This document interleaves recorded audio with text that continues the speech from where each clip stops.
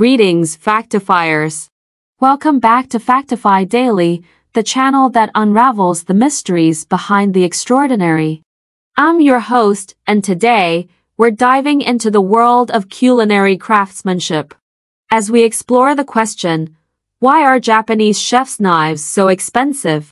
Get ready for a journey through precision, tradition, and the artistry of Japanese knife making. Let's get slicing. Our exploration begins with the use of high-quality materials. Japanese knives are often crafted from premium materials such as high-carbon steel, which offers exceptional sharpness, durability, and edge retention. The use of top-tier materials contributes to the overall cost of these knives. Japanese knives are known for their hand-forged precision. Skilled craftsmen spend hours meticulously shaping, hammering, and refining each blade.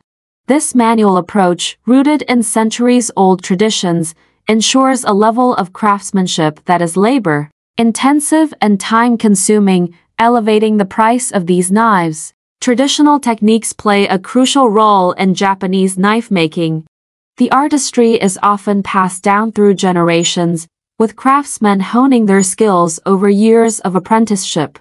These time-honored methods contribute to the unique character and exceptional quality of each knife but also add to the cost. Japanese knives are often created by highly specialized craftsmen, each focusing on a specific aspect of the knife-making process. From the blade to the handle, every detail is crafted by experts in their respective fields resulting in knives that are not only functional but also works of art. Specialized craftsmanship naturally comes at a premium.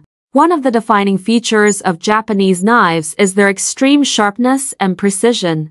The meticulous attention to detail in the sharpening process, often done by hand using traditional whetstones, contributes to the unparalleled cutting performance. Achieving and maintaining this level of sharpness requires skill and time, increasing the overall cost. Japanese knives are renowned for their unique blade profiles.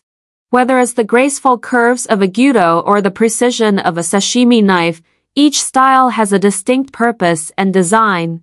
Crafting these specialized blade profiles requires additional skill and effort, adding to the cost of production. Beyond functionality, Japanese knives are valued for their artistic aesthetics.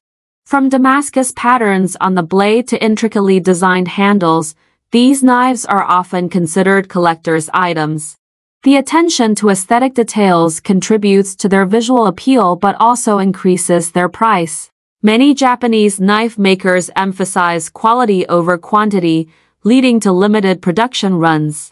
The exclusivity of these knives, combined with the time and effort invested in their creation, contributes to their high market value. Japanese knife makers prioritize rigorous quality control and testing. Each knife undergoes meticulous inspection to ensure it meets the highest standards. This commitment to quality assurance adds an extra layer of assurance for buyers but also contributes to the cost of production. Japanese knives carry a rich culinary heritage and cultural significance. The prestige associated with owning a piece of this heritage, coupled with the artisanal craftsmanship, makes these knives highly sought after. The cultural value and prestige contribute to the premium price tag. And there you have it, factifiers the reasons why Japanese chef's knives are so expensive.